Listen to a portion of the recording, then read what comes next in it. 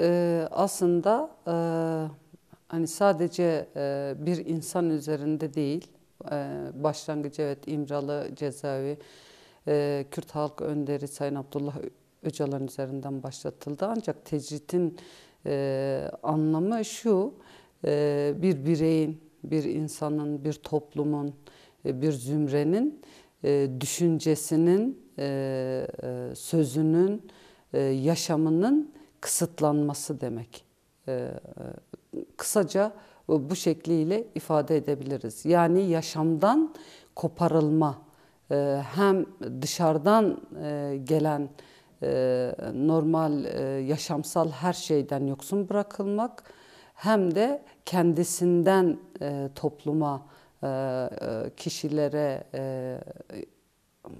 düşüncesinin ya da sesinin kısıtlanması, ulaşmasının kısıtlanması demek. Yani kısacası tüm yaşamdan izole edilmek demektir.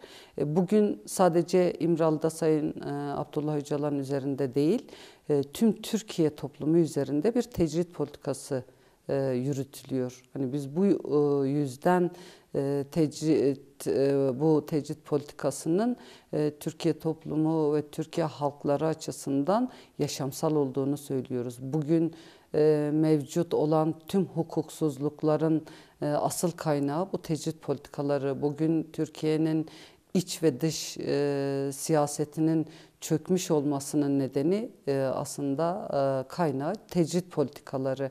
Yine bugün Türkiye'de hiçbir e, insanın kendi düşüncesini, talebini, sözünü söyleyememesinin kaynağı bu tecrit politikası. Yani aslında iktidarın yarattığı bu tecrit toplum mu e, bireyi, insanı birbirinden izole etme ve baskı altında tutma e, e, yöntemidir. Ve gerçekten ülkeyi bir kaosa, bir çıkmaza, bir ayrıştırmaya neden olan bir politikadır ve bugün ülkenin geldiği durumda e, malum ekonomik e, kriz had safhada, siyasi kriz tüm e, içeride ve dışarıda yani Türkiye'nin hiçbir komşusuyla, hiçbir ülkeyle bir ilişkisi kalmamış durumda. Dolayısıyla bundan da bir savaş politikası yaratılmakta ve bu tecrit politikası savaş politikasına devşirilmiş durumda. Kısacası e, izolasyon, ve e, bütün yaşamsal haklardan, insani ve hukuki temel haklardan mahrum e, etmektir.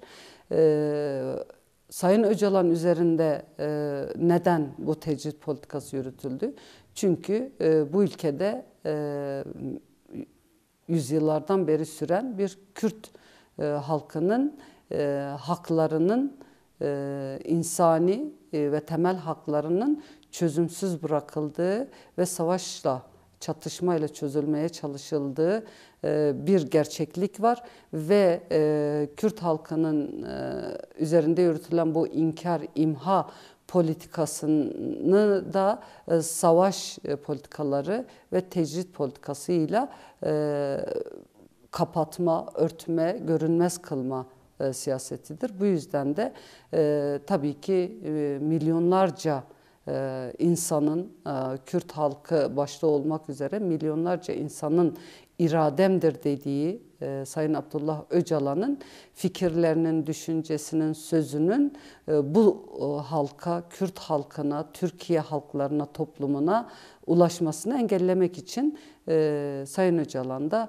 yaklaşık 22 aydır mutlak bir tecrit altındadır. Aslında 20 yılı aşkındır e, bir tecrit politikası var ama son 22 aydır mutlak bir tecrit var. Yani sağlığından bile e, yaşayıp yaşamadığından bile e, halk bir haber, ailesi bir haber, bir haber, bizler bir haberiz. Bu tecrit politikasının bu ülkeye hiçbir faydası olmadığını da düşünüyoruz. Kaynağını aslında e, Kürt halkının temel haklarının yok sayılması ve Kürt e, halkı üzerinde inkar imha politikasının bir devamı olarak e, son süreçlerde yaratılan bir politikaya dönüşmüş durumda tecrit.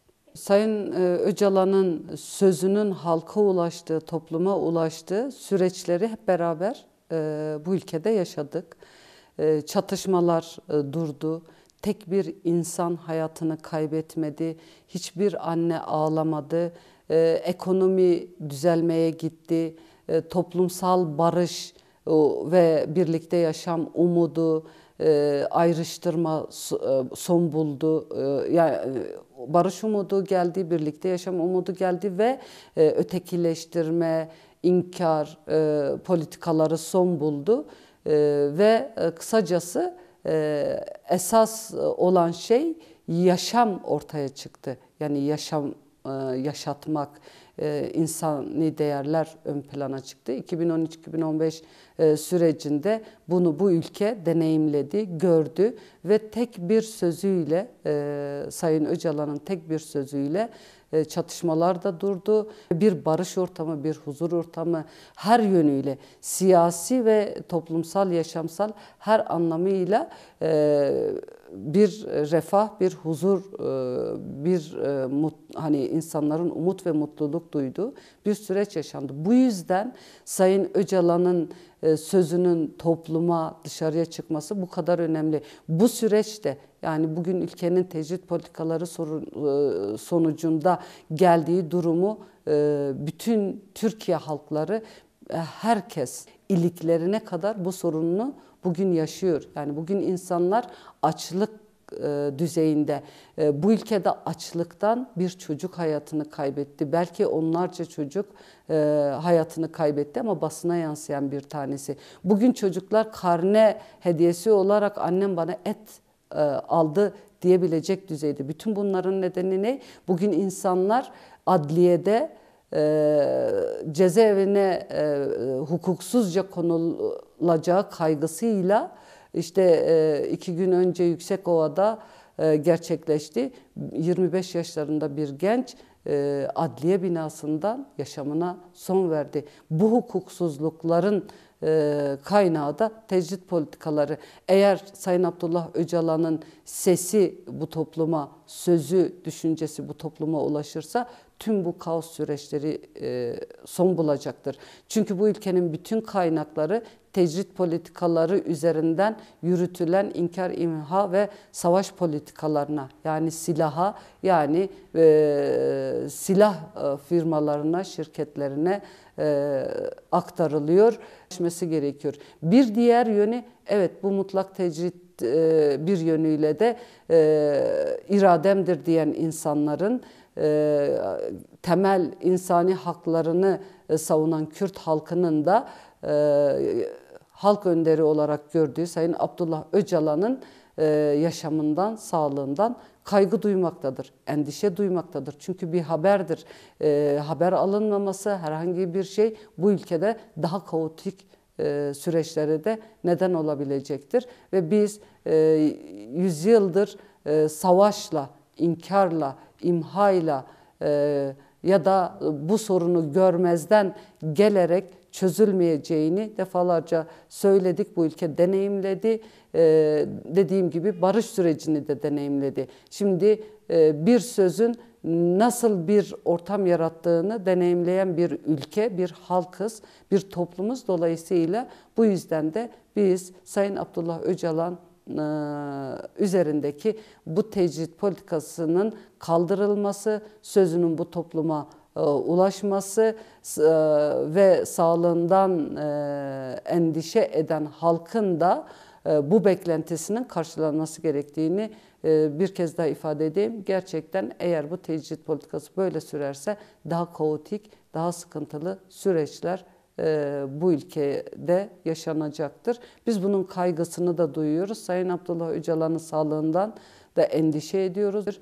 E, HDP milletvekilleri olarak e, Türkiye halkları üzerindeki ve İmralı'da Sayın Öcalan'ın üzerindeki bu tecrit politikalarının kaldırılması için bir eylemsellik Adalet Bakanlığı önünde ve mecliste e, bir nöbet eylemi başlattık. E, birebir sorumlu olan Adalet Bakanlığı'ndan henüz tek bir açıklama bile gelmemiştir. Bu da aslında e, önümüzdeki e, seçim sürecinde e, yine iktidarın kendi bekasını, kendi iktidarını korumak e, istediği için e, halen bu politikanın kendisine yarayacağını düşündüğü için de e, bu tecriti sürdürdüğünü düşünüyoruz. Ama biz bu tecriti kırıncaya kadar e, bu nöbet eylemimizi sürdüreceğiz. Evet, uluslararası güçlerin sessizliği elbette ki başından beri var. Çünkü 9 Ekim komplosu uluslararası güçlerin e, güç birliğiyle, el birliğiyle gerçekleştirdiği bir şeydir. Uluslararası güçler hepimiz biliyoruz ki savaştan beslenen rant ve sömürü üzerine bir e, düzen, e, kapitalist düzen kurulmuş. Dolayısıyla e, Sayın Abdullah Öcalan'ın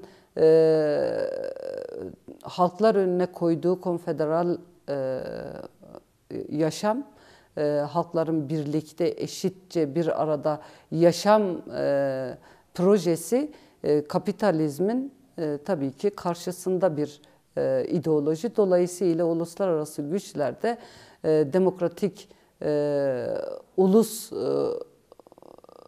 felsefesini e, reddeden e, aslında kapitaliz e, e, kapitalizmi üzerinden yaşamla e, hani e, iktidarlarını ve varlıklarını sürdüren güçler oldukları için bu düşüncenin hayat bulması kaygısıyla bu komployu gerçekleştirdiler. Dolayısıyla bu komployu planlayan uluslararası güçler elbette ki e, sessizliğini de sürdürüyor. Evet dönem dönem e, her ne kadar e, belirli açıklamalar, belirli söylemlerde yapılsa işte e, AHİM Avrupa İnsan Hakları Birleşmiş Milletler zaman zaman uyarıda da bulunsa aslında bunlar hepsi siyasi ve ekonomik çıkarlar üzerinde kurulu şeylerdir. Dolayısıyla